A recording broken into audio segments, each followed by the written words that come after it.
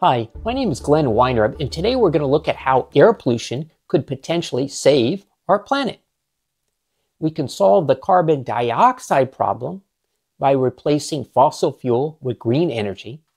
However, this alone will probably not solve the climate tipping point problem. We seem to be approaching these critical thresholds too quickly. Therefore, we probably need to reflect approximately 1% of sunlight back into outer space to cool the planet. There are several ways to do this, one of which is called stratospheric aerosol injection, or SAI for short. This involves spraying reflective gases or liquids into the upper atmosphere using airplanes. The two primary layers in the atmosphere are referred to as the troposphere and the stratosphere. To make this easier to follow, we will refer to these as the lower atmosphere and the upper atmosphere.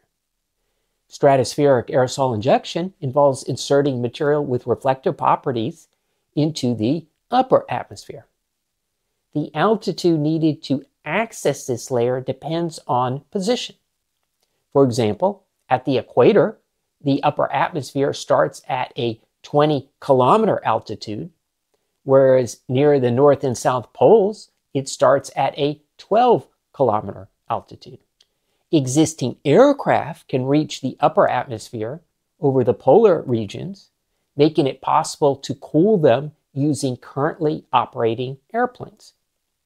However, cooling the entire planet would require injecting material at the equator at altitudes around 20 kilometers.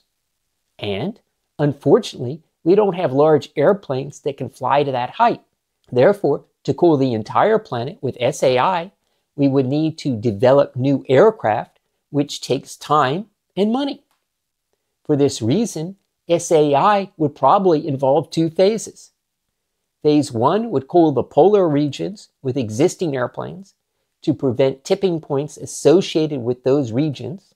And phase two would cool the entire planet at a later date with newly developed aircraft.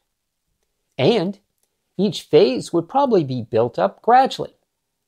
For example, one could operate at one ten thousandth of full scale operations, look for harm, and advance if none was detected. One possible injection material is sulfur dioxide gas. Sulfur occurs naturally in coal and oil and is therefore emitted into the atmosphere when these fuels are burnt. In principle, it could be extracted before combustion, moved to an airplane, and emitted into the upper atmosphere instead of being emitted at ground level.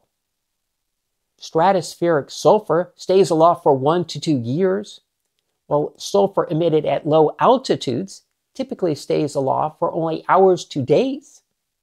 Therefore, shifting the emission site reduces the temperature of the planet while not increasing total sulfur emissions.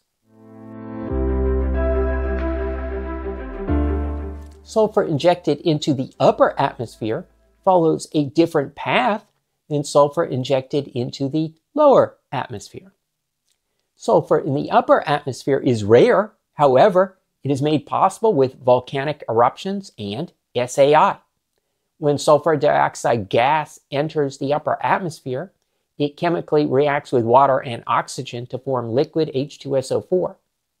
This combines with water to produce microscopic droplets that are typically 50% H2SO4 and 50% water.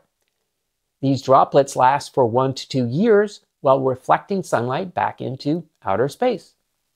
Significant quantities of sulfur are already present in the lower atmosphere, primarily due to fossil fuel combustion. However, this sulfur typically remains airborne for only hours to days because of rainfall and gravity. In humid conditions, tiny sulfuric droplets grow into cloud droplets consisting of more than 99% water.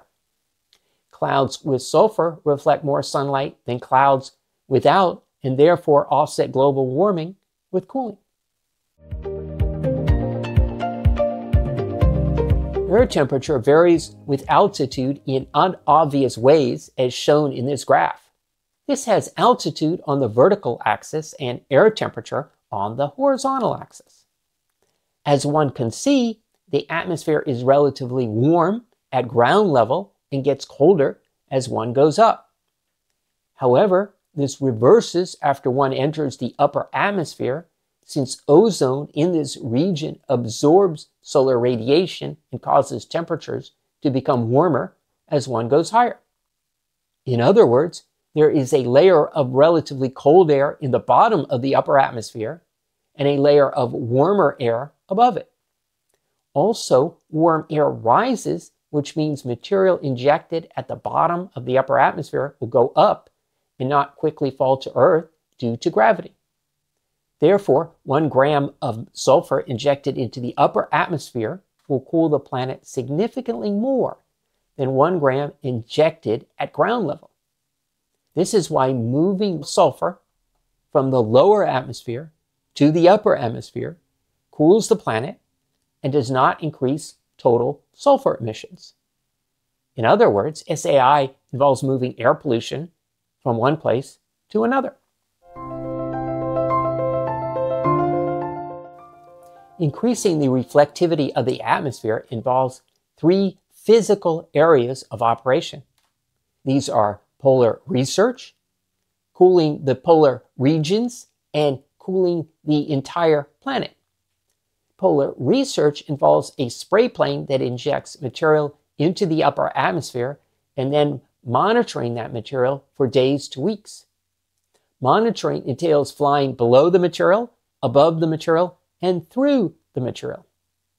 For details, click on the link in the description below. Cooling the polar regions involves approximately 100 Boeing 777 airplanes that inject material close to the north and south poles to block tipping points associated with those regions. For details, see Wake Smith's 2024 paper. And cooling the entire planet involves approximately 100 large, custom made, high altitude airplanes that inject material near the equator to block all climate tipping points. Reflecting sunlight at the scale needed and in the time frame needed is not easy to do. It involves risks Two that stand out are site security risk and undercapitalization risk. Site security risk involves protecting reflectivity operations from physical attack. This is important since, in theory, any grumpy national leader could key the coordinates of reflectivity infrastructure into a missile guidance system and press a button. There are multiple reasons why they might do this, one of which is they perceive it as harmful. This is a complex topic since the magnitude of harm could vary in both time and place. And we would want to weigh it against the harm of doing nothing. Ultimately, this could get complicated and lead to fighting. Also, there's undercapitalization risk. This is when financial support for initial research is insufficient, followed by a panicked national leader that pushes forward at large scales before scientists had measured side effects at small scales. There are many potential problems, and these are just a few that stand out. To minimize risks, exhaustive field testing would be needed to evaluate different candidate materials in different locations with different monitoring instruments. Experiments such as these have not been conducted, even though changing the emission site of air pollution is of profound importance. For this reason, it is our intent to support sunlight reflectivity field experiments. For details, see video number nine. Okay, that's it for me, and I'll talk to y'all real soon.